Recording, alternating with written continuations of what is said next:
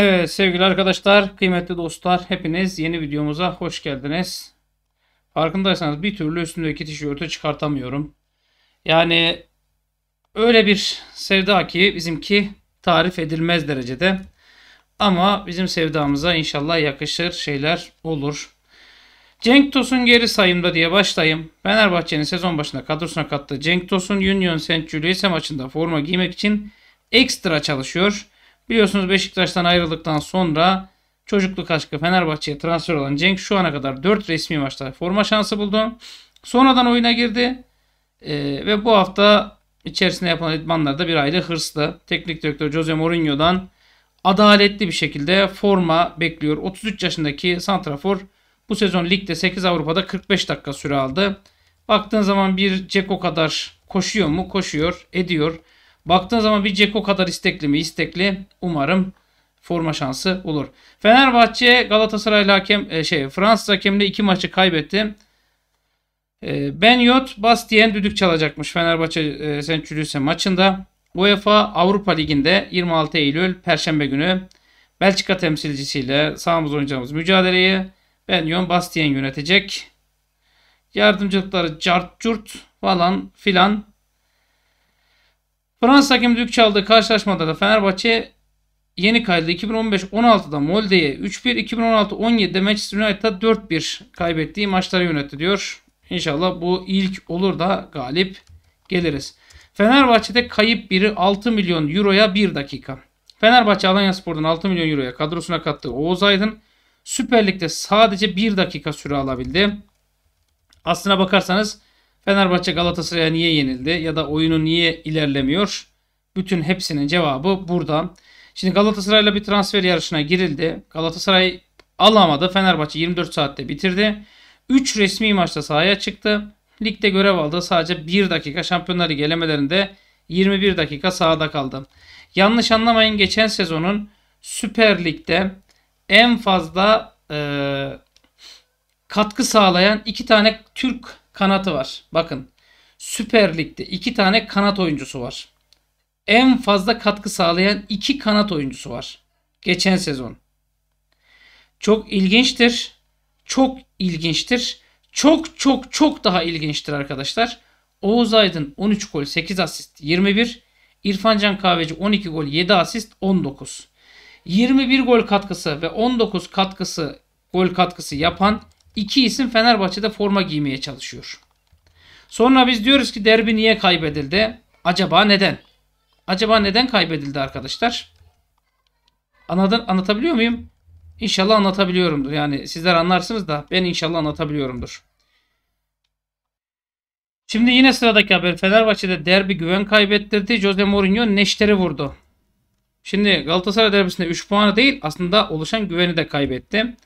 Yani Kadıköy'de 1-0 galip gelseydin 1-0'dan çok fazlasıydı. Ama mağlup olunca sezon başından oluşturulan güven ortamı, destek ve birçok şey sorgulanmaya başlandı.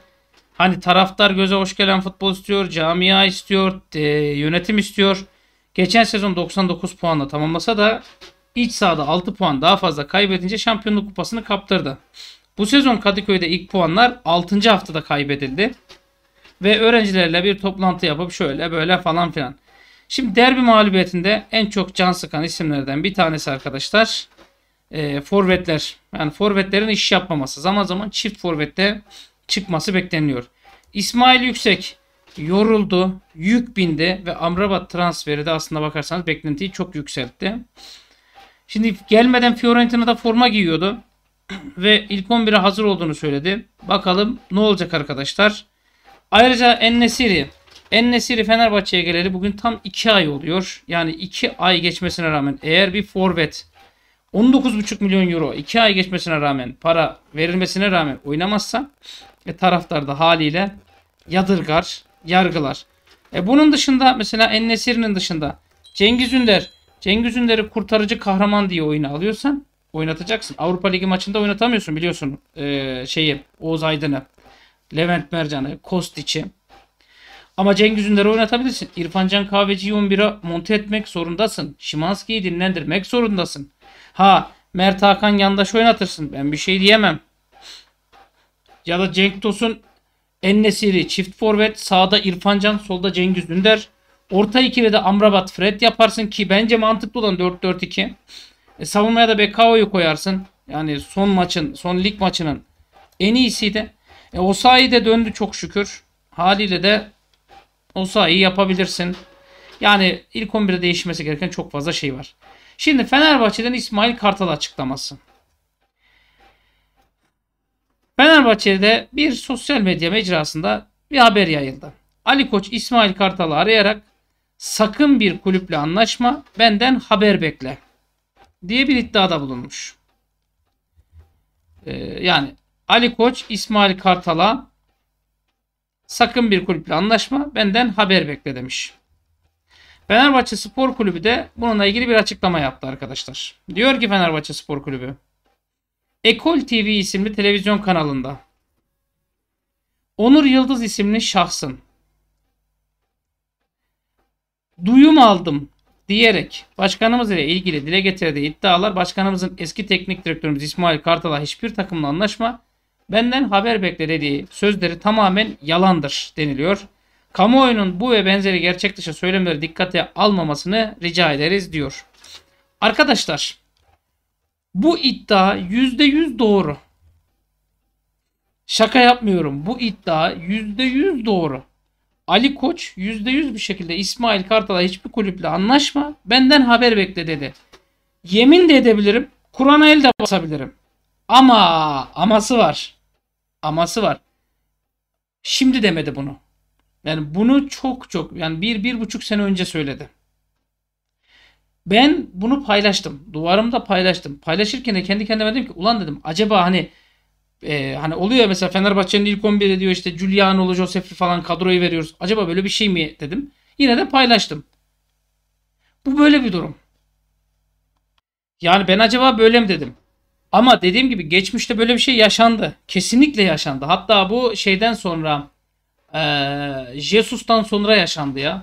Jesus'tan aynen Mayıs ayı gibiydi. Yani biz neredeyiz? 2024 e, 2024 Mayıs 2023 Mayıs gibiydi. Evet böyle bir olay yaşandı ama 2023 Mayıs gibi. Şimdi İsmail Kartal Jose Mourinho'yu solladı. Haber bu şekilde. Geçen sezon 99 rekor puan.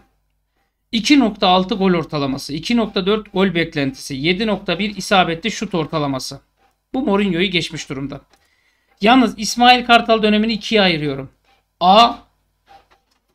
E, kuruluş, diriliş İsmail Kartal. B. Yıkılış İsmail Kartal. Yıkılış İsmail Kartal dönemine baz alırsak Erol Bulut bile daha başarılıdır dersiniz. Onu söyleyeyim. Şimdi puan rekoru dışında birçok rekor kırıldı mı? Kırıldı. Ancak onun yerine Jose Mourinho getirildi. Sebebi neydi? Jose Mourinho İsmail Kartal'ın rakibi tam analiz edemediği için B planı, C planı, D planı olmadığı için getirildi.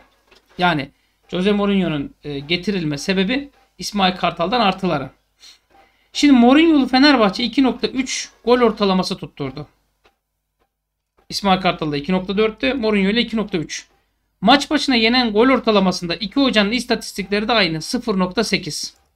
Yani Galatasaray maçında 3 gol yenilmemiş olsa Fenerbahçe 1 gol atıp kazanmış olsa atılan golde gerideyiz.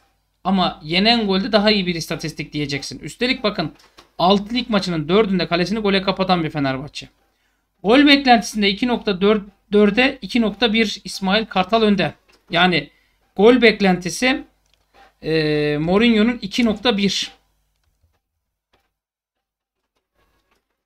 Ben şimdi araya da şöyle sıkıştırayım. Karşılaştıracağım az sonra.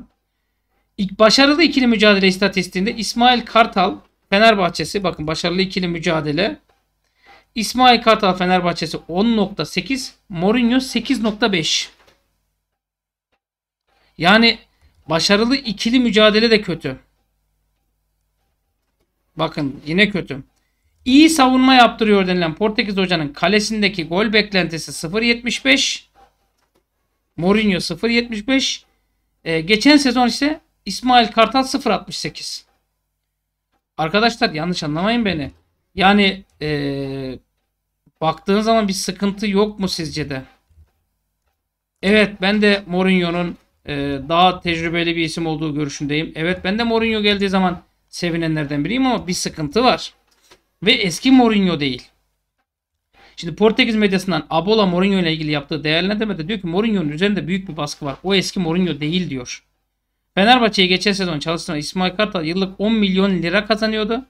Mourinho ise 10 milyon euro kazanıyor. Aradaki fark bu. Şimdi ikisini kıyaslayalım.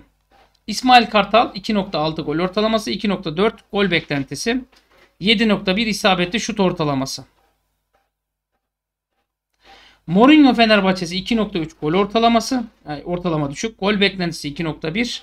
Maç başına yenen gol ortalaması ise 0.8 ikisinde de aynı. Başarılı ikili mücadele İsmail Kartal 10.8, Mourinho 8.5. Ee, bu istatistiğe baktığın zaman hocam biz niye değiştirdik ki olacak? Ben şunu söyleyeyim.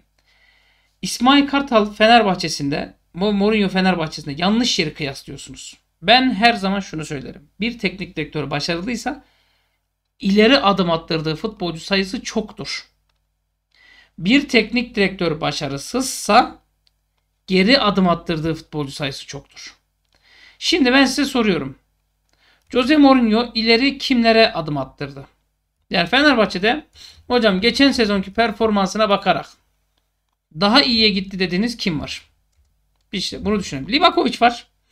Doğruya doğru. Livakovic geçen sezona göre daha iyi. Mert Müldür geçen sene az forma şansı buluyordu. Bu sene daha fazla forma şansı buluyor. Daha iyi dersin. 2. De, deriz değil mi arkadaşlar? Yani yanlış anlamayın deriz. Ben derim.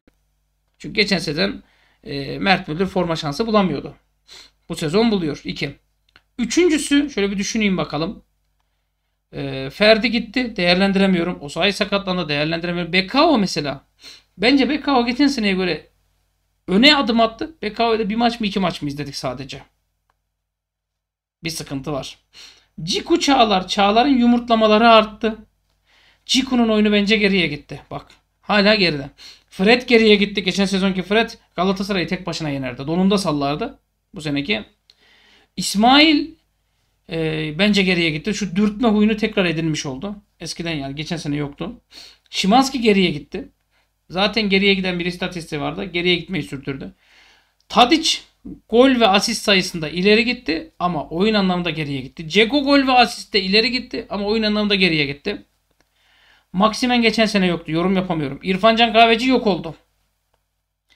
Cengiz geçen sezonki Cengiz zaten kötüydü. Bu sezonkinde doğru düzgün izleyemedik. Yorum yapamayacağım. E Batshuayi Fenerbahçe'den gitti. O da geriye gitti. Ona bir şey diyemem. O Fenerbahçelik durum yok.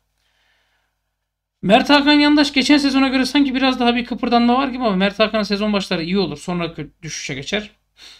Onun dışında yorum yapamıyorum. Yani ben Mourinho'da şunu görmem lazım. Bakın arkadaşlar Eylül ayı bitiyor. Ekim'e geliyoruz. Temmuz'da başladı serüven. Temmuz, Ağustos, Eylül. 3 ay adam olan adam için yeterli bir süredir. Taktiğini oturtmak için, sistemini oturtmak için. Ha dersen hocam ben Mourinho'yu 3 senelik getirdim. Bana ilk senesinde şampiyon olmasa da olur. ikinci sene, üçüncü sene şampiyon olursa olur derseniz taraftar sizi tokatlar. Bu arada Aziz Yıldırım'dan da bir açıklama var. Bazı sosyal medya mecralarında benim ağzımdan çıkmamış ve çıkması mümkün olmayan yalan ifadeler yer almaktadır. Ben Fenerbahçeli doğdum. İyi günde de kötü günde de ödenerek Fenerbahçeliyim diyor. Bugünkü olumsuz durum elbette değişecektir ve güzel günlerde buluşacağız. Bugün üzüntülü olsak da temennimiz Fenerbahçe'nin bir an önce toparlanmasıdır. Taraftarımızdan ricam etkileşim almak uğruna ismim kullanılarak yayılan ifadelere itibar etmemeleridir. Bakın. Murat Aşık'ın da bir e, şeyi var. Sitem artı isteği var. Fenerbahçe bu maçı 90'lı yıllarda kaybetseydi Fenerbahçe başkanı stadyumdan 3 saat çıkamazdı. Ki babam çıkamadı ve istifa etti diyor. Ben Ali Koç istifa etsin diyenlere hain demiyorum.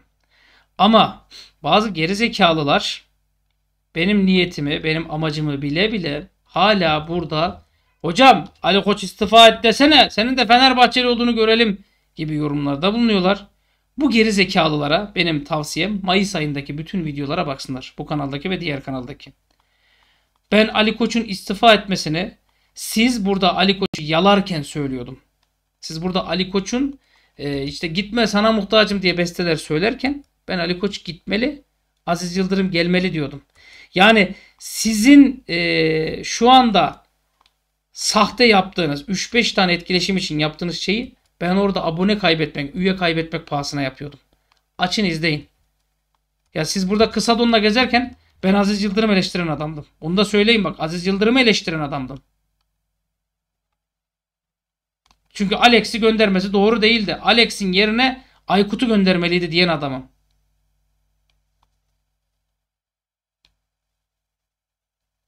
Yani çok şey var. Ben bir şey söyleyeyim. Ali Koç'a en büyük eleştiriyi ben yapıyorum. Alın bakın. Kadıköy Sokak 19 kanalında. Kimsenin fikrine saygısı ekibinden küçük bir anket yapmak istiyorum dedi belirttim. Açın bakın. Hepsi var. Bu kanal arkadaşlar ben bu kanaldaki videoları silmiyorum. Diğer kanaldaki videoları silmiyorum. Açın bakın hepsi var. Hepsi var hepsi. Çıkıp da burada namussuzluk yapmasın kimse. Kimse yapmasın. Ben burada hepsini biliyorum. Abi şimdi diyorum ki bak şimdi Ali Koç'un istifa etmesi işe yaramaz diyorum. Bu sefer de diyorlar ki bak Ali Koççu çıktı herif. Lan arkadaş sizin yanınızda ben yorum yapamayacak mıyım? Şunu bunu diyemeyecek miyim? Ya Fenerbahçe sadece bir derbi kaybetti. Fenerbahçe ne yaparsa düzelir. Bak ne yaparsa düzelir Fenerbahçe. Fenerbahçe arka arkaya maçlar kazanırsa, futbol birdenbire değişirse, takım coşarsa Fenerbahçe değişir. Aynı zamanda rakip puan kaybederse Fenerbahçe değişir. Ben sizin kanınızı biliyorum. Kanınızı. 15 gün sonra kuracağınız cümleleri biliyorum. Bak Fenerbahçe perşembe kazansın. Hafta sonu kazansın. Galatasaray çarşamba kaybetsin. Hafta sonu kaybetsin. Kuracağınız cümleler değişecek. Ben biliyorum sizi. Ben şuna kızıyorum bak. Ben sadece ve sadece şuna kızıyorum. Arkadaş geçen sene İsmail Kartal'ın hakkı yenildi mi? Yenildi. Şampiyonluk elden gitti mi? Gitti. Çalındı mı? Çalındı. Sizler Mourinho'yu istiyordunuz. Şimdi ne oldu da Mourinho'yu şey yapıyorsunuz? Benim Ali Koç'a kendimi sattığımı falan diyen arkadaşlar. Siz kendinizi nerede kaça satıyorsunuz? Ya Mourinho'yu isteyen hepimizdik. Arkadaş şöyle bir şey yapın. Ha, yani kötü olduğunda durum sorumluluk almayı bilin. Mourinho'yu hepimiz istedik. Hangimiz istemedik? İsmail Kartal ligin ikinci yarısında mahvetti takımı. Takım istatistikleri de şurada burada geriye gitti. Şimanski'nin kötüye gidişi İsmail Kartal'ın taktiği sistemi çözüldü. B plan olmadığından. Ama hocam biz deplasmanda Beşiktaş'ı da yendik. Trabzon'u da yendik. Galatasaray'ı da yendik. Aynı galibiyeti Aykut Kocaman, Ersun Yanal altında şans diyorsunuz. Arkadaş son anda da şöyle oldu böyle oldu diye. Aynı galibiyet. Ee, ben şunu söyleyeyim. Ee, neydi onun adı ya?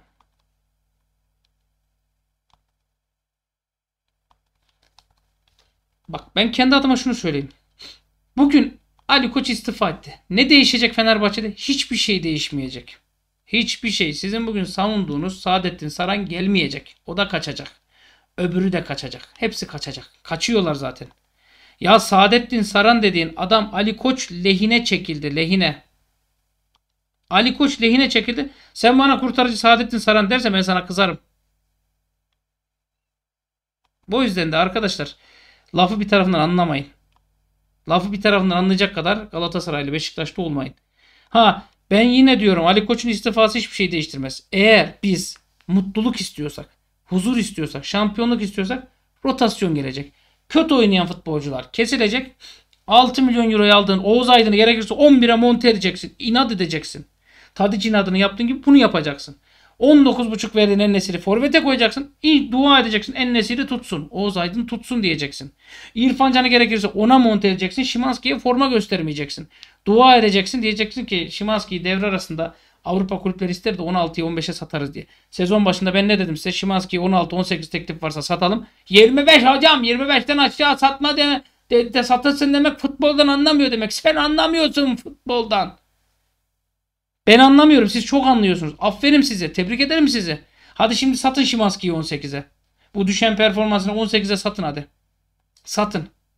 Fred 35 milyon euro teklif gelmiş. Satalım dedim demedim mi? Alalım bak Rebio boşta dedim. Ver yıllık ücretini al bedava futbolcu. Aynı kalitede aynı ayarda isim. 35 milyon euroyu Araplar istediydi Fred'e. Şimdi bak kafalar taşlara vuruyorsunuz. Camdan adam. Sakatlandı mıydı arkası yok. Medina'yı almamız lazım.